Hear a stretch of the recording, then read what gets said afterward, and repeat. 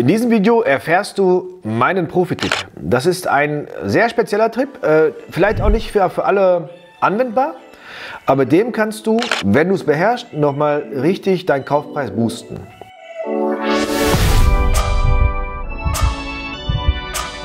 Lass mir ein Abo da, dann erfährst du vielleicht noch mehr Tipps wie diesen. Und bleib bis gerne dran, damit du auch alles soweit verstanden hast und soweit umsetzen kannst. Wenn du Fragen hast, wenn irgendwas offen ist, unten Kommentarfeld einfach benutzen. Ich lese sie alle persönlich und schreibe dir dann darauf zurück. Wenn du also Fragen hast, gerne kommentieren.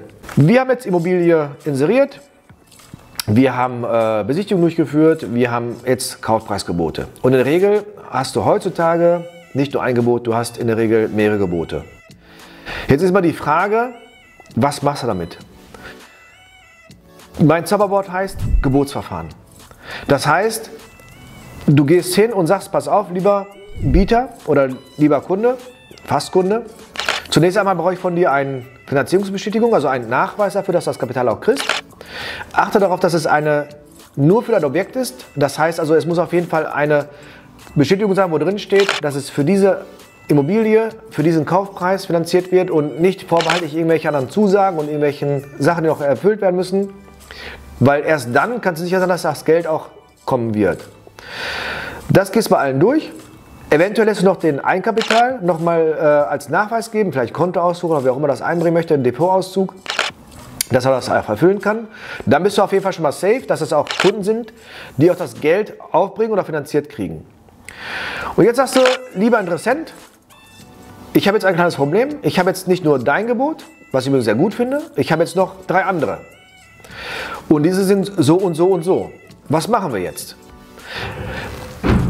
Letztendlich geht es darauf hinaus, dass du das Maximalgebot abfragen musst. Das heißt, du musst möglichst nett, aber bestimmt, musst ihm nahebringen, dass er sein Höchstgebot jetzt abgeben mag und dass du das dann, dann jetzt bei allen machst und sich danach entscheiden wirst und danach zurückmeldest.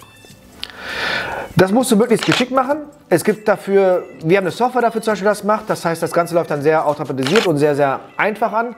Ähm, Im persönlichen Gespräch kann das sein, dass die Leute vielleicht das komisch finden oder nicht ganz gut finden werden, weil sie halt eventuell mehr zahlen müssen, als sie wollten.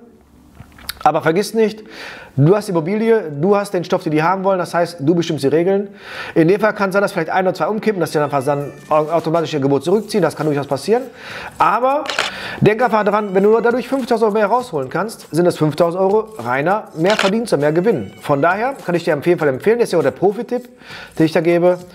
Gebotsverfahren soll sich mal beschäftigen und ja, für einiges Überwindung, solche Gespräche zu führen, aber denk dran, es wird hoch vergütet, hoch honoriert.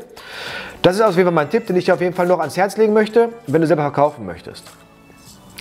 Ja, ich hoffe, dir hat diese kleine Serie gefallen und vor allem, du hast dadurch viele Tipps gekriegt, die du vielleicht vorher nicht oder nicht in der Tiefe oder Breite gekannt hattest. Wenn du Fragen hast, schreib sie in die Kommentare rein.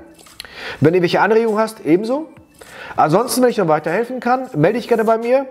Ansonsten, du weißt genau, wie die Währung hier im Internet ist. Teilen, liken und abonnieren. Bis bald.